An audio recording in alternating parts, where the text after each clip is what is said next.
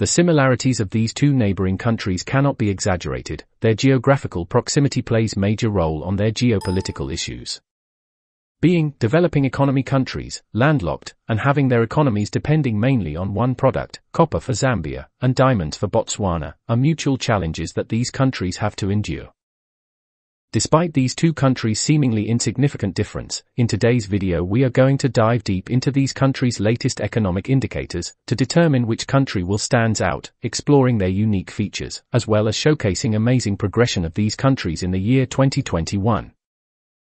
Hello and welcome. If you are thinking of visiting one of these countries, you might have hard time choosing between the two, but your choice will mainly depend on what you consider a perfect tourism experience.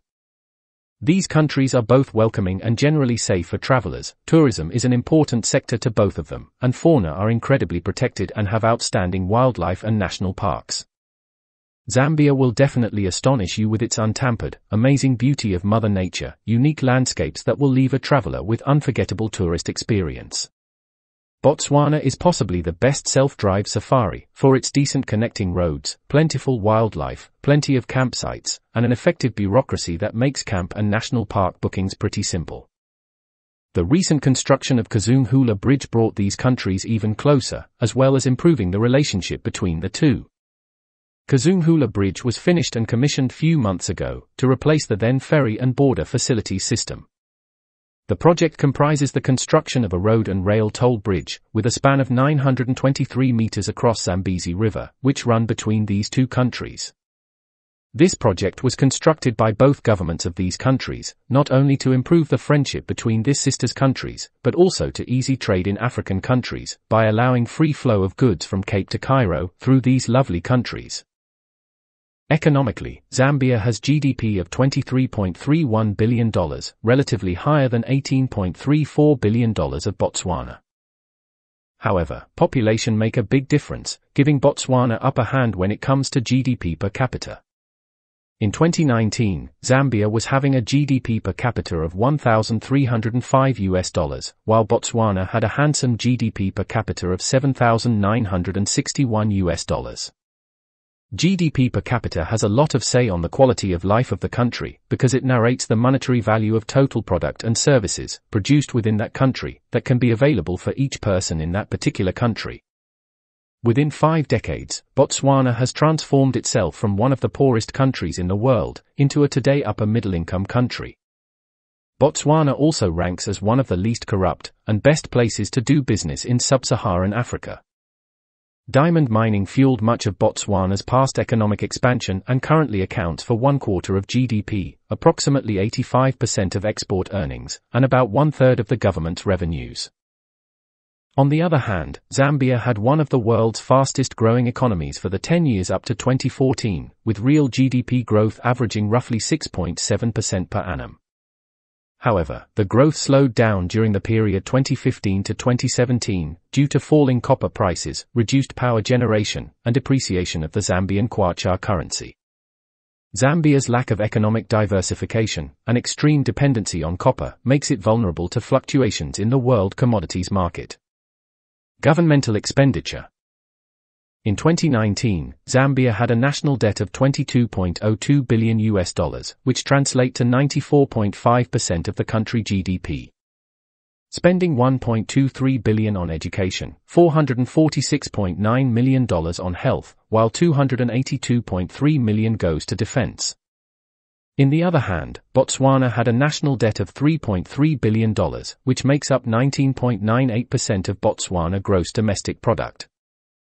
In 2020, Botswana spent $989.5 million on education, $806.8 million on health, and $508 million on national defense budget. Sociodemography Both of these countries enjoyed lengthily and uninterrupted peace since their independence.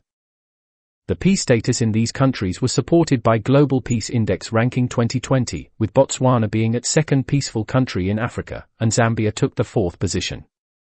In terms of corruption, the 2019 Transparency International Corruption Perceptions Index gave Botswana a Corruption Perceptions Index of 61, where 100 is the most clean country and 0 is the most corrupt.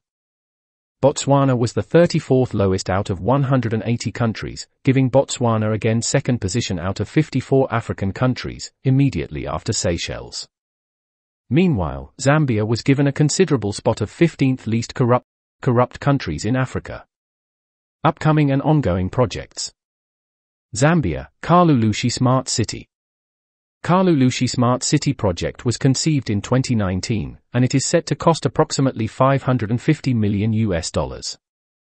The project consists of construction of a shopping mall, hospital, hotel, office block, golf course, filling station, and about 200 residential houses among others.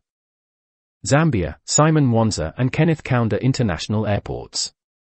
The country has recently commissioned two state-of-the-art international airports. The Simon Mwansa International Airport in Ndola City is said to be built at a tune of $400 million, has a capacity of 1 million passengers per year, and has a 50-room luxury hotel. At Kenneth Kaunda International Airport, in the capital Lusaka, new modern terminal was built at a cost of $360 million. This project is expected to increase the number of passengers from the current 2 million to 4 million per year. The project also involves a hotel, cargo terminal, air traffic control building, fire station, as well as a shopping mall. This facility will boost tourism of the country as well as other commercial complex. Zambia, Kafue Gorge Hydropower Station. The construction of Kafue Gorge Lower Hydropower Station is in progress in the Southern District, in Chikankata. Once completed, the project will add 750 megawatts of electricity to the country's power grid, hence reducing frequent power shortages, and make the country an exporter of electricity in the region. Botswana, Botswana Innovation Hub, Science and Technology Park. The Botswana Innovation Hub, Science and Technology Park, is a home of innovation. This 57 hectare, state of the art facility is the first technology park in the country. It will work to create an environment that supports startups and existing local companies, and attract international companies and institutions, as well as to develop and grow competitive technology driven and knowledge based businesses. The construction started in August 2014, and it will include offices, industrial units, and hotels, expected to be finished sometimes this year, 2021.